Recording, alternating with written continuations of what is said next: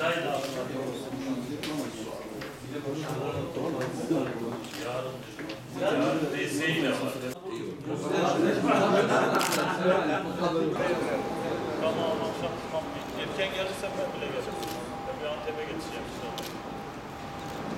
bu kadar.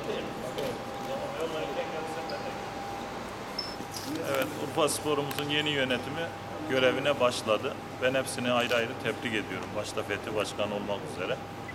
Aldığımız bu bir ilk nezaket ziyareti bayağı da hızlı başlamışlar tabir caizse. Ee, görev bölümünü yapmışlar. Topçularımızın ödemeleriyle ilgili herkes fedakarlık yapmış. Ben yeni yönetici arkadaşların hepsine işini gücünü bırakıp Urfa'ya, Urfa Spor'un hizmetine kendilerini adadıkları için teşekkür ediyorum. Dua ediyorum. Allah yardımcıları olsun. Bu şehir her şeye layık. İnşallah bu emekler karşılıksız kalmaz.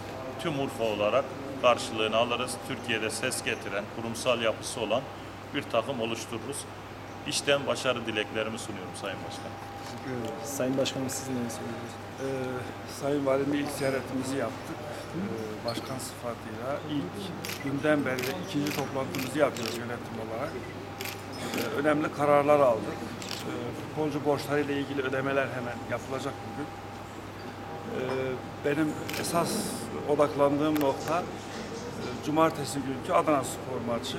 Ona odaklanmamız gerekiyor. Biz bütün e, hemşehrilerimizi, bütün Urfalıları, bütün dostlarımızı cumartesi günkü maça bekliyoruz.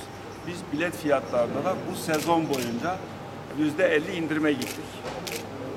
E, bilet fiyatlarımızı makul bir fiyata çektik açıkçası. E, o açıdan ben e, bol seyirci bekliyorum ve moral motivasyon bekliyorum, galibiyet bekliyorum.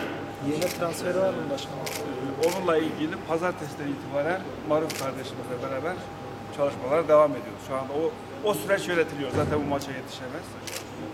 Ee, Ciddi çalışmalar yapılıyor şu anda. Teşekkür ederim. Teşekkür. Hepinize teşekkür ederim. Thank you.